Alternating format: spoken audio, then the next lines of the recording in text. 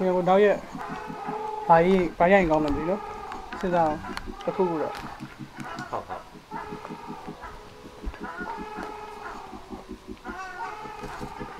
ဒီတော့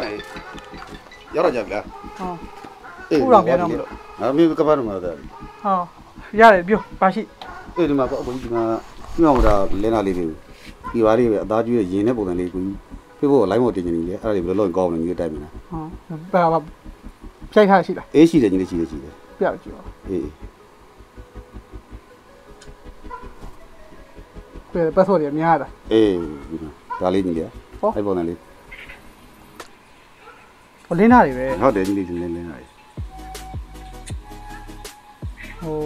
ပြန်လာပြန်လာသူစာကျွေးတယ်ပြန်လာတယ်ဒီမှာလာသားတယ်ပေါ့ညီလေးဟင်းဒီပါနဲ့နော်ဒီပါနဲ့လည်းအရင်ကြီးတယ်ညီဟိုမိုက်တယ်အေးမဆိုးဘူးကျွန်တော် idea လေးတစ်ခုရသွားပြီ ရကြည့်ဒီလေးလည်းဒီလေး blog လေးတွေလုပ်နေတာဆိုတော့လေအေးပါညီအစစ်အစစ်တော်တော်ပြည့်တယ်အေးကျွန်တော်မိုက်တယ်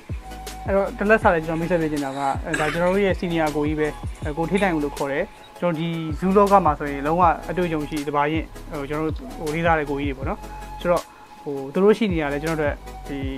trap လေးတွေရတယ်ဗျာကျွန်တော်ကဒီ ဇညုံလေးတွေလည်းရေးလို့ကောင်းတယ်သူတို့ရှိရနေပြီးအတွေ့အကြုံလေးတွေ share လုပ်တဲ့ပုံစံရရကြတော့လေဆိုတော့မိတ်ဆက်ပေးတာဒါလက်ရှိကဒီကျွိတ်ဆန်ဝင်နေပြီးတော့မှဆိုလဲဟို supervisor ပဲဆိုတော့တစ်ချက်ပြောရရင်ကိုကြီးလုံးတက်တော့ရှိသွားတယ်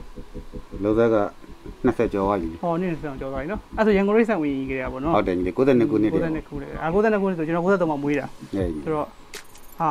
တော်တော်ကျွန်တော်တို့ထက် တော်တော်တကယ်တကယ်လေးစားရမယ့်ပုံကိုယ်တွေမှာပါတယ်ကွာ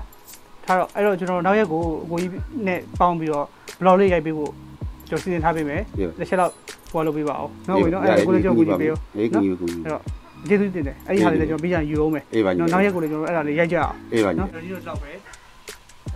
ပြုတ်ဆက်လိုက်အောင်ကဲ plan ဖို့တော့ရပြီ